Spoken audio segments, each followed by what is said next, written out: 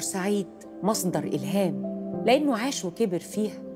بقى له خيال صافي ووجدان من لون سماها ومبانيها أستاذ خضير جواه فنان رسم الخطوط العربية. كتب حكاوي قهاوي زمان وسهر ليالي الحلمية. الشهد غرقان في دموعه وكل ده بإيديه مخطوط. أعماله عايشة ما بين الناس مهما الزمان بالعمر يفوت.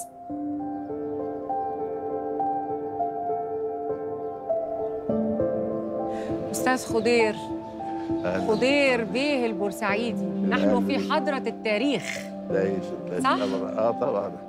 وبعدين حضرتك غاوي الاحتفاظ بالتاريخ. آه، بورسعيد عندي هي كل حاجة. بورسعيد. آه. عشان و- كده خضير البورسعيد. عشان كده خضير البورسعيد. وما فيش لا مسعد ولا مصطفى ولا بتاع كله خضير البورسعيد. نقيت الكنية نقيت انت آه. من فين؟ آه. زي بتوع زمان. آه وجيت هنا عشان هنا زي بورسعيد. الحتة دي؟ آه ال- آه الحتة دي الناس فيها زي في بورسعيد اشمعنى اشمعنى؟ آه وكده ورمضان برضو ال- نفس نفس الحكاية. اشمعنى حاسس ان إحنا هنا في الجمالية؟ مش كده؟ آه، إحنا في آه. الدمغة والموازين والجم... أيوه أيوه. آه اشمعنى الحتة دي زي أنا هقول لك؟ على. حاجة. أنا أول ما جيت مصر سنة 58 كنت جاي أشتري حاجات. آه بقوا بسأل على المكان. مكان العمارة دي قبل ما تتبنى. كان في مطبعة أنا عايز منها كتاب خط. ف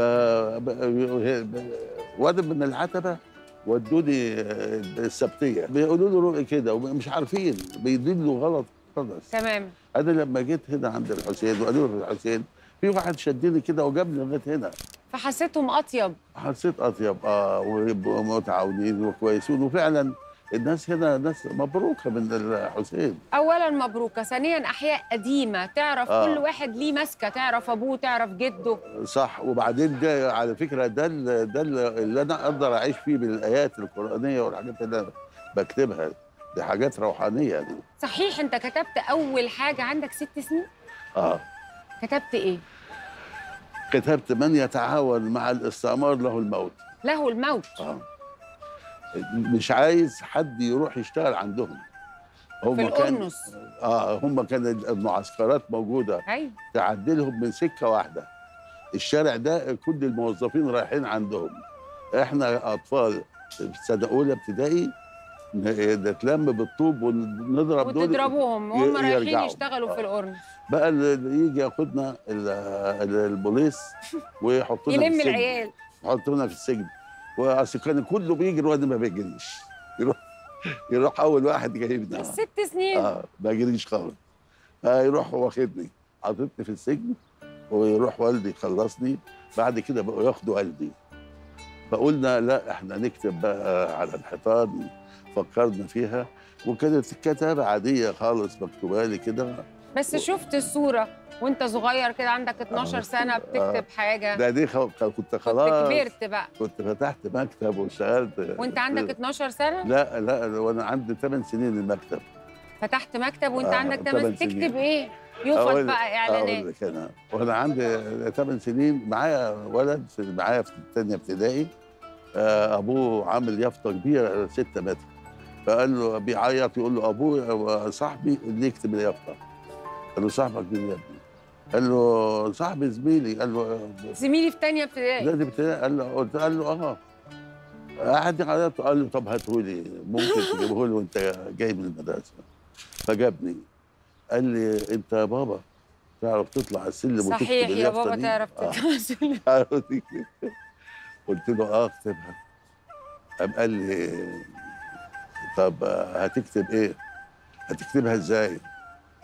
هو بادئه بمحمد. قلت له شوف أنا هكتب محمد. معاه بالبويه الحمراء هي بيضاء هكتب محمد. وأنت واقف. أكمل ولا ما أكملش؟ ومش عاجباك؟ معايا جهاز وقوطه همسحها وهتسلمها إزاي؟ اتبسط قوي. وبعدين آه، قلت له بقول له إيه؟ أكمل. لقيته تحت. قد كمل إيه؟ المحل اتعرف من غير ما اكمل بص وراك. لقيت الناس كده. عشان قافلين. صغير صوته آه. حلو يعني قافلين. السكة قفلة فظيعة طب وجيت مصر إمتى بقى؟ أنا جيت مصر سنة 61 على الجيش على الجيش آه ورحت في كاتم أسرار حتة كويسة يعني على عرفوا الشارع أكيد. إن أنت بقى خطك أيوه حلو آه كده ده بقيت أكتب للقادة وبقيت أكتب ال- النياشين والانواط والحاجات دي كلها عملت آه. كل ده. عملت كل بعد الحاجات كده استقريت بقى في القاهرة. وبعدين آه وأنا في الجيش جيت فتحت محل في الوش هنا. هنا في الجمالية. هم. آه. آه وفكرت بأن أنا بقى إيه ما بقاش إقليمي وأقعد هنا وآخد معايا بورسعيد أبقى أحط كلمه خضيره بورسعيد صحيح. آه. من هنا بقى قلت إيه تسمي نفسك البورسعيد خضيره بورسعيد إمتى اشتغلت يا أستاذ خضير في التلفزيون؟ اشتغلت 64 سنه 64 آه. وده كان بالنسبة لك بقى مختلف تماما. مش عالم بس, تاني بس بقى. كنت كتبت سينما قبليها. كنت كتبت سينما. افلام اسماعيل ياسين كنت كتبت منها كتير. أفيشات لإسماعيل ياسين؟ آه إسماعيل ياسين و- و- فتحي نجاة آه، نجلاء فتحي أول ما طلعت انه عاشقة فيلم لإسماعيل. ياسين؟ آه، هونج كونج أول فيلم. آه. معروف اللي قوي الطريقة اللي آه. كانوا بيكتبوا بيها آه، إسماعيل عندي ياسين آه عندي, عندي. وبعد كده اشتغلت في التلفزيون اشتغلت في التلفزيون التلفزيون هنا بقى آه الخطاط دايما بيكتب كتابة مظبوطة عشان الخطاط يشوفها يعرف إن ده يعني خطاط. ويمضي آه. دايما إنما ال- التلفزيون عاوز أنا هعامل الجماهير حتى لدرجة في الكورة كنت بعمل كلمة الصراحة واحد قاعد أول ما تيجي الناس كلها تضحك ف يعني ليا الح- الحاجات دي ال- الحاجات التانية في التلفزيون برضو أنا يعني لما يجي إسماعيل عبد الحافظ يقول لي عاوز آه، اكتب. ليالي الحلمية ليالي الحلمية أروح أش... أقول له ورينا هتنزل فين ألاقي أهل الحلمية خارجين بالعشي كده وبتاع ومهرجان رحت عاملها ليالي الحلميه عاملة آه، مهرجانات عاملة كده مهرجانات كده، صحيح. آه. والقرآن. اللي كان بيجي في التلفزيون واللوحات ال- ال- تختلف القرآن ده بقى شغلانة. جميل. آه بس شغله حلو. بس هم مثلا بيسلمني شريط آه على أفرغه. إزاي؟ هنعمل هنقول آه الشيخ البنا بيقول أنتم في لوحة. أشد خلقا في لوحة. أيوه ما كان- قبل كانوا بي... السماء صحيح لوحة. صحيح. ويرجع يكرر امشي صحيح. وراه أروح وراه أروح وأجي معاه. اللوحة بتتحط كده تتنطر بقى كده. فالوقتي شغله غير آه دلوقتي دلوقتي. كده ترجع. خالص خالص. فكانت إيه كده أكتر حاجات شهيرة في التلفزيون أنت بتعتز بيها؟ أنا بعتز الحمد لله بكل حاجة عملتها في التلفزيون.